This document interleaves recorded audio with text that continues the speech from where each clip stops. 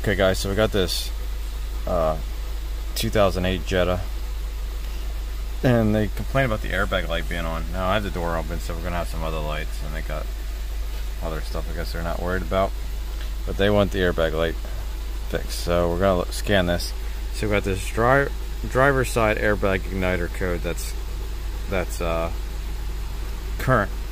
It's a hard fault. It says 00588. Upper limit exceeded. So we're gonna go into read data stream. We'll do by list and we'll look for the driver's side. So we got driver's side airbag stage one and there should be a stage two in here. Let's see. Stage two. And that should be it for the driver's side. They're usually just two stages for the front. Okay. There we go. So we got driver's side stage one. It only has one stage. And it's too high. See that? That's probably the resistance is too high. So what I'm going to do is we're going to see if we can pop this airbag out and we'll measure the resistance. Be nice if scan tools just gave you like bi-directional controls where you could just deploy the airbag, then you know if it's good or not, and you just replace it. Problem solved. What's the actuation test? Yeah, we won't do that. But I'm gonna pop this off and we'll quick check it. Okay guys, so I couldn't find a resistance value for the airbag, and usually they're between 2.1 and 2.4 ohms, I think. I, could be wrong. I know it's 2 point something, so I use these uh, 0.64 female terminals, and we uh, probe the, oh, I put them over the pins for the airbag, so you can see how it's OL right now. So when I put this on, you can see it goes to zero. So it's, it's like almost zero the whole time. I'm gonna pull some of these out, but so that's really, really low. I'm pretty sure that's what's bad. So I'm gonna take the, we have these resistors right here and these airbag pieces right here. So we're gonna put one of these in the car and see if the car likes the resistance value of these. So I'm gonna put this in my meter. We'll look what the resistance is first and then we'll connect it to the car. Okay, so here we go. We got them connected. It's auto. I think it's auto. Let's see. Oh, there we go. So this is what? Try the 2.1 ohm one. So there we go. So now I'm gonna go probe the car and we'll see what happens. Okay guys, so I got my bypass resistor right here. And we're probing the factory harness and I got that plugged in, so let's turn the key on. Let's let's see if our light goes out. So our light went out. Oh, still on. Let's see what happens on here. Uh, let's see. Where's airbag? airbag. I don't know if we have to clear the code or anything. Read DTCs. So let's see if we can clear this.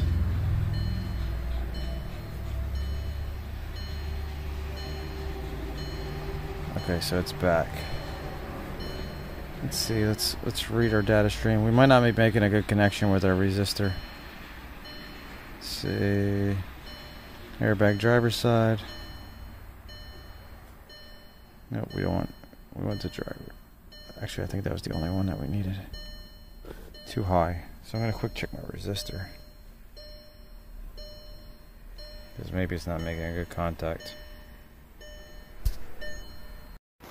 So guys, it looks like something somebody was in here because this ain't clipped together right. It was like spaced apart and there's no screw down here. See that? No screw. So I'm going to try to get this apart and then we'll check the clock spring because I wonder if the clock spring's messed up too. Because I didn't like the way it looked looking in here. Like, I just didn't like the way that like metal looks in the outside edge. Okay guys, I want to show you something. So our airbag module, I mean our airbag should be these middle two pins right here. So I have my meter set on resistance and when I come down here and go on each one of these pins, you'll see the meter never changes. So we have an open in this clock spring. So look at that. Uh, there we go. Nothing. So now I move over to the other wire.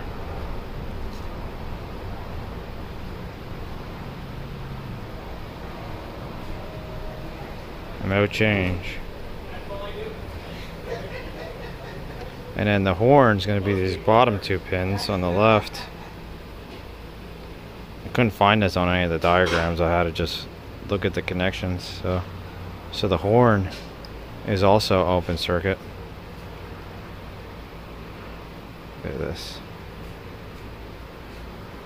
There's no change. Let's go to the other one.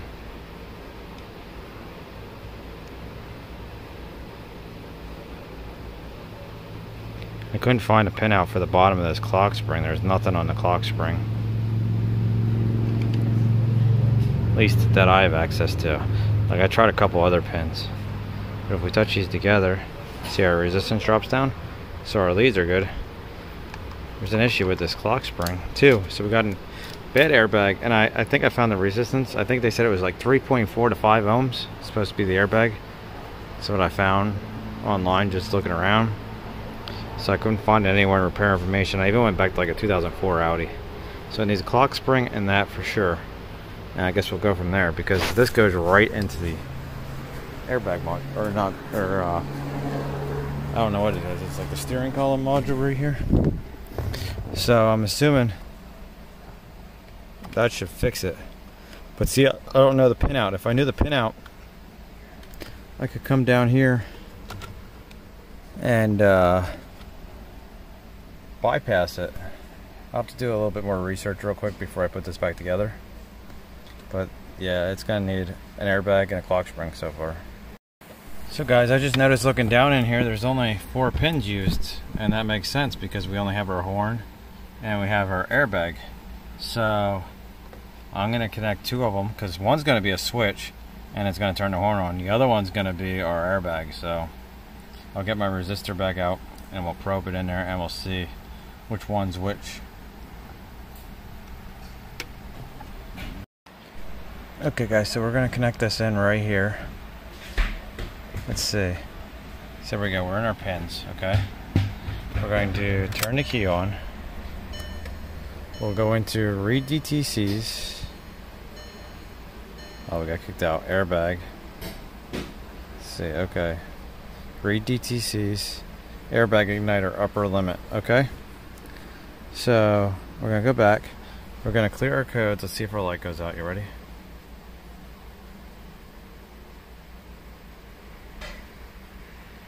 Look at that. It says no codes.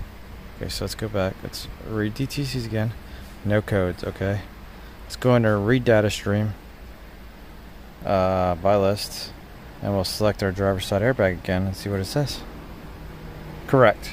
So there you go, guys. We know we need a clock spring and we know we need an airbag.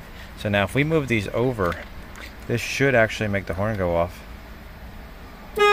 Yep, see that? Boom. Confirmed. Clock spring and airbag.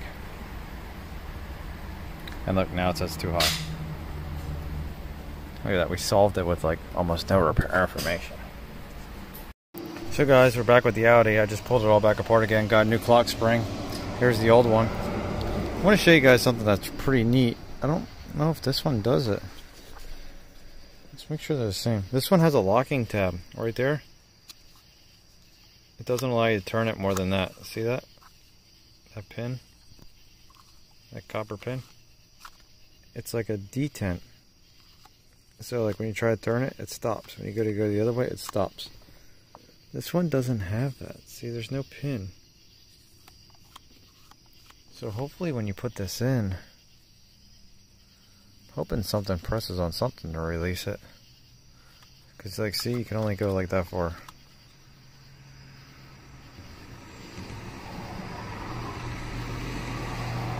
It says set the center position, do not alter. You know what, it also doesn't have that. the same? Everything else looks the same. This one has, oh, you know what? I guess you pull the pin out. See, there's a pin right there. I'm guessing you pull the pin out. So we'll put this on here. There we go. Got that on there. We'll pop that up. I'm going to put our bolt in and then we'll stick our steering wheel on. I got a new steering wheel too. I'll show you that because there's the old one.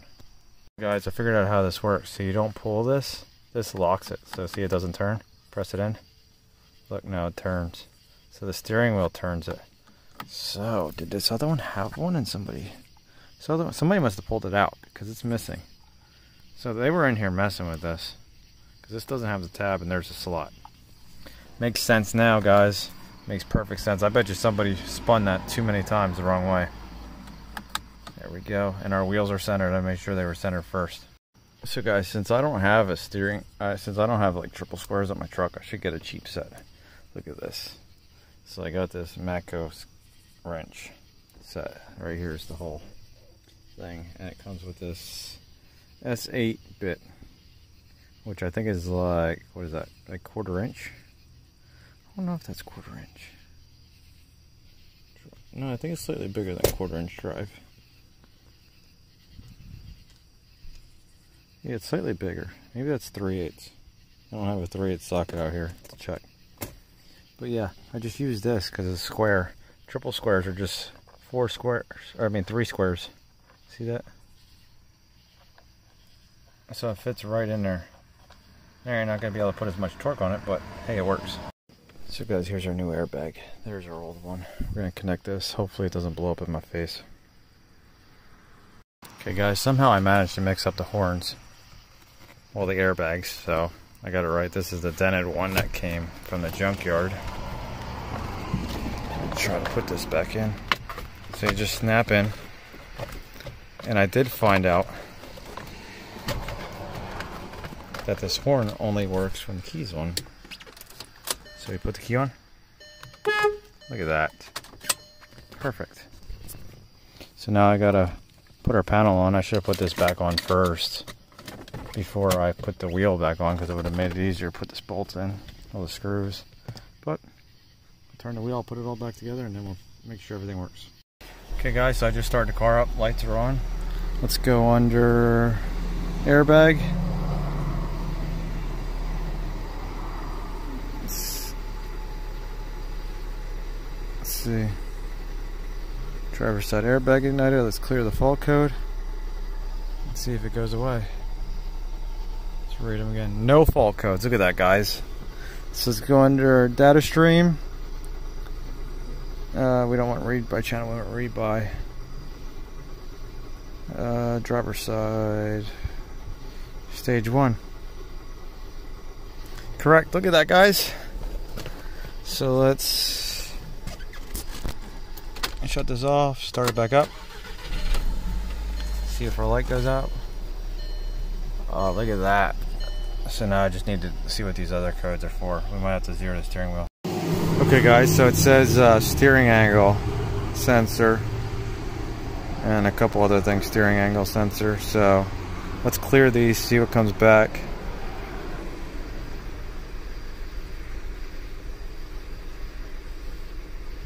I might have to re-zero it. I don't know if I have to re-zero it.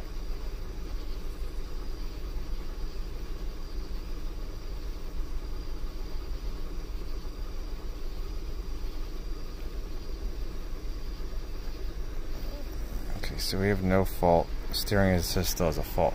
So I wonder if I have to re-zero it.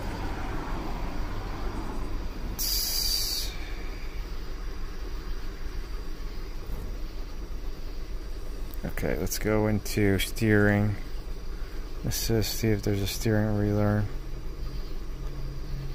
Let's see, uh, is it adaptation? I wonder if we can back out. See if there's like a quick learn thing. Special functions.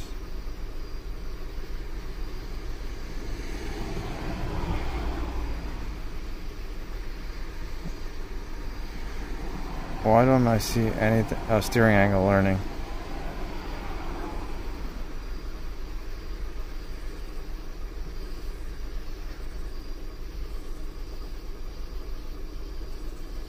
Okay, so it looks like it auto relearns.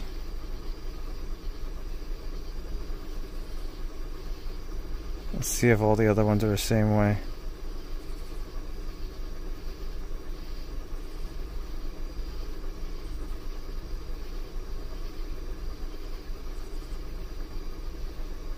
I don't know what a short distance is, but I can't get the car out here. There's a car in front of me.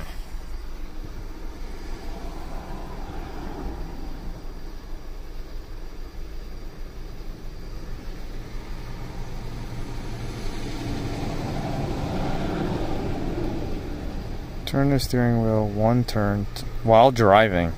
Turn the wheel one turn to the to the right and one turn to the left.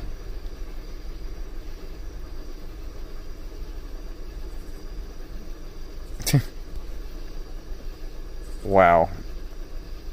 I have a feeling that this is going to be for all of them. Yes. Okay, so I think they're supposed to bring this car down to me tomorrow to work on, so I'll have them do that. I'll see if it clears up by then. And then we'll come back. So guys, we're going to try to do this thing tonight, I guess. Let's see if we can relearn this. Let's come back here. Let's see. It says drive in a straight line 20 kilometers for a short distance. Oh, look at that, guys. It relearned. It's done. Man, that is awesome. Now let's try to find reverse. Euros is always front and left.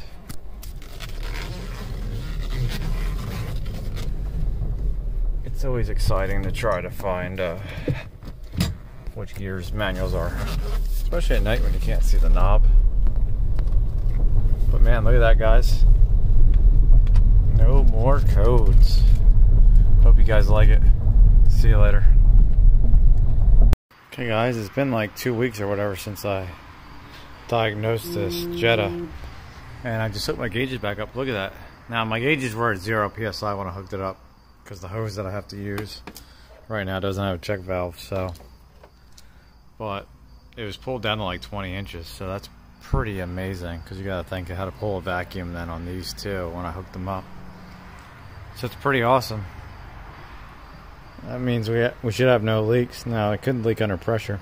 I was looking at this clutch. Looks really really funky. But I got the lines undone. I gotta bleed the vacuum off because I can't get the lines off because they're sucked on. Because they're really fat lines on this apparently.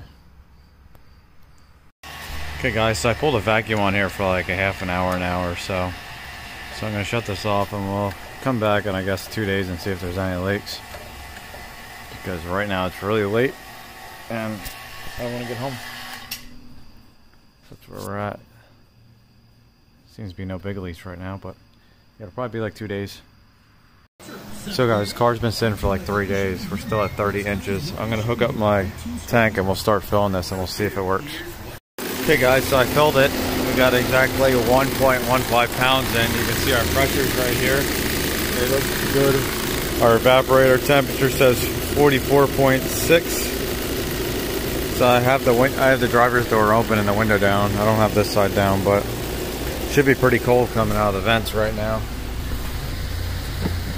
Uh, let me go to the other side and check, and we'll see what the temperature is. Actually, I'll just feel the temperature.